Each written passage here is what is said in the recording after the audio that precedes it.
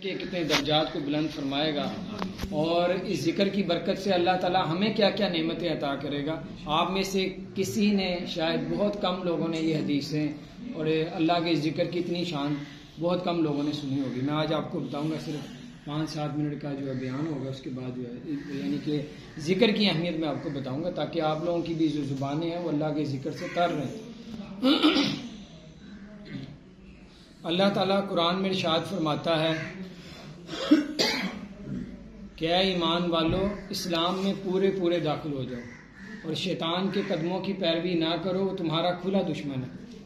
अल्लाह ताला कुरान पाक में इरशाद फरमाता है कि मैंने ज़िंदगी और मौत को इसलिए पैदा किया ताकि तुम्हारी आजमाइश कर सकें कि तुम में कौन अच्छे काम करता है। अल्लाह ताला कुरान में इरशाद फरमाता है कि मैंने जिन्नों और इंसानों को अपनी इबादत के लिए पैदा किया सो तुम मुझे याद किया करो, मैं तुम्हें याद करूँगा। अल्लाह ताला कुरान में इशाद फरमाता है कि जब मोमिन के सामने अल्लाह का ज़िक्र किया जाता है तो उसका दिल खुश हो जाता है। और जब मुनाफिक के सामने अल्लाह का ज़िक्र किया जाता है तो उसका दिल घुट जाता है। फिर अल्लाह ताला फरमाता है कि बेशक दिलों का सुकून तो सिर्फ़ अल्लाह की याद में है। नबी पाक सल्लल्लाहु अलैहि वसल्लम ने इरशाद फरमाया कि अल्लाह ताला के कुछ ऐसे फरिश्ते हैं, जिनकी अल्लाह ताला ने ड्यूटी ये लगाई है, वो आसमानों में घूमते हैं, फिरते हैं, तलाश करते हैं, जहाँ पे भी अल्लाह के ज़िक्र की महफिल को पा लेते हैं, उस महफिल में आके बैठ जाते हैं। और जब अल्लाह के ज़िक्र की महफिल खत्म हो जाती है, वो आसमानों की तरफ़ वापिस चले जाते हैं। फिर अल्लाह ताला उन फरिश्तों से पूछेगा ए फरिश्तों, तुम लोग कहाँ से आ रहे हो? फरिश्ते अर्ज़ करेंगे, अल्लाह तेरे बंदे तेरी इबादत कर रहे थे, उस महफिल से आ रहे हैं। फिर अल्लाह ताला उन फरिश्तों से पूछेगा, क्या उन्होंने मेरी जन्नत देखी है कि जन्नत की लालच की वजह से मेरी इबादत कर रहे थे?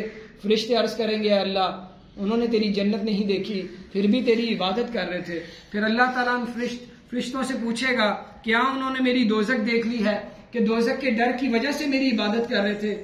फरिश्ते अर्ज़ करेंगे अल्लाह उन्होंने तेरी दोजक नहीं देखी फिर भी तेरी इबादत कर रहे थे। फिर अल्लाह ताला फरिश्तों को हुक्म फरमाएगा ऐ फरिश्तों तुम लोग गवाह रहना मुझे अपनी इज़्ज़त और जलाल की कसम जितने भी ज़िक्र करने वाले थे मैंने सबको बख्श दिया है। सबको माफ़ कर दिया है।